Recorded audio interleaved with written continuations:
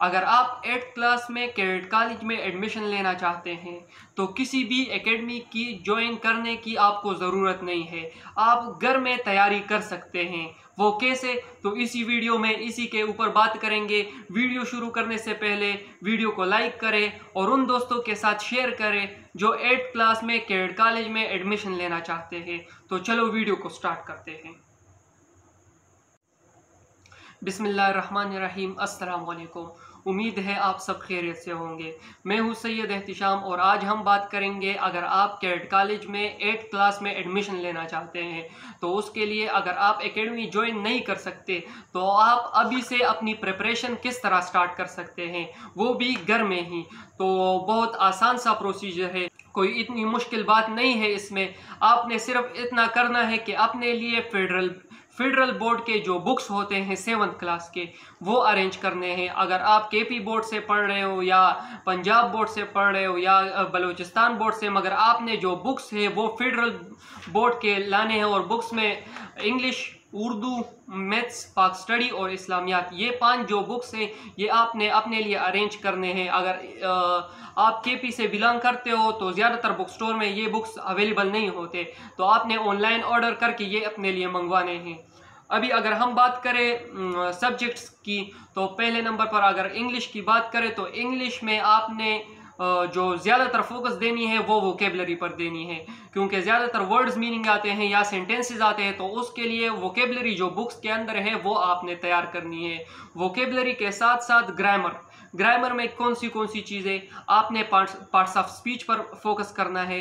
Parts of speech ये बहुत लाजमी है, क्योंकि ज़्यादातर क्वेश्चन इसी में से आते हैं। इसके अलावा टेंसेस अगर आपको टेंसेस नहीं आते तो उसमें क्वेश्चन ज़्यादातर इस तरह आते हैं एंट्री टेस्ट में कि आपसे, आपको उर्दू में जुमले दिए जाते हैं या इंग्लिश में दिए जाते हैं। तो वो आपने अगर इंग्लिश में दिए हो तो उर्दू में ट्रांसलेट करने होते हैं और अगर उर्दू में दिए हो तो वो आपने इंग्लिश में ट्रांसलेट करने होते हैं। तो ये चीज़ बहुत मुश्किल होती है अगर आपने टेंसेस नहीं की होगी। इसके अलावा टेंसेस के अलावा पार्ट्स ऑफ़ स्पीच हो गई टेंसेस हो गए और आपने एप्लीकेशन और एप्लीकेशन जो होती है, वो प्रॉपर इसका स्ट्रक्चर और ये चीज़ याद करनी है क्योंकि एप्लीकेशन मस्ट आती है।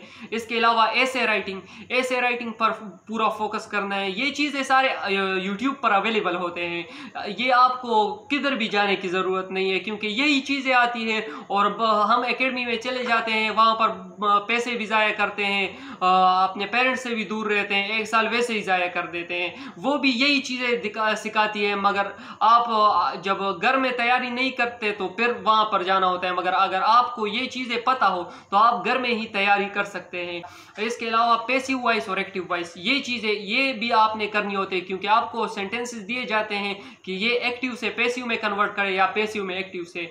इसके अलावा एक्टिव पेसिव वॉइस के अलावा डायरेक्ट और इनडायरेक्ट स्पीचेस तो ये चीज़ें आपने इंग्लिश में इसी चीज़ों पर, इसी चीज़ों पर फोकस करनी है और ये आपने तैयार करनी है। अभी दूसरे नंबर पर अगर हम बात करें तो उर्दू आती है। तो उर्दू में भी आपने कवायद पर फोकस करना है। इसके अलावा दरख्वास्त तो मजमून ये चीज़ें आपने ज़रूर तैयार करनी है क्योंकि सारा जो पेपर होता है वो इसी चीज़ों में से आता है।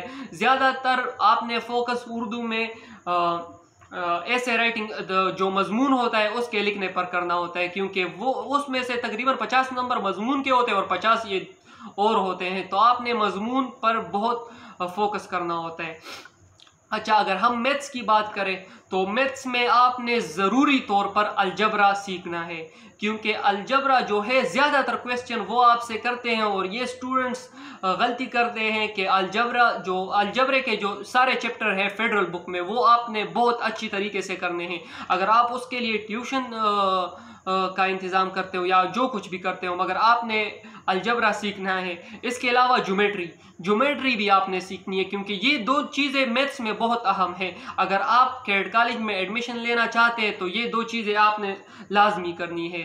अच्छा इसके अलावा अगर हम बात करें इस्लामियात की तो इस्लामियात में आपने जो पहले चैप्टर्स हैं उसी पर फोकस करना होता है, क्योंकि ज़्यादातर क्वेश्चंस इस्लामियात के कोर्स में से ही आते हैं, और इस्लामियात का जो पेपर होता है, वो इतने नंबर का होता भी नहीं है किसी के कॉलेज में तो इस्लामियात बिल्कुल नहीं होता, और अगर किसी में हो भी तो वो भी बहुत कम मार्क्स का होता है, तकरीबन 30-40 नंबर का होता है।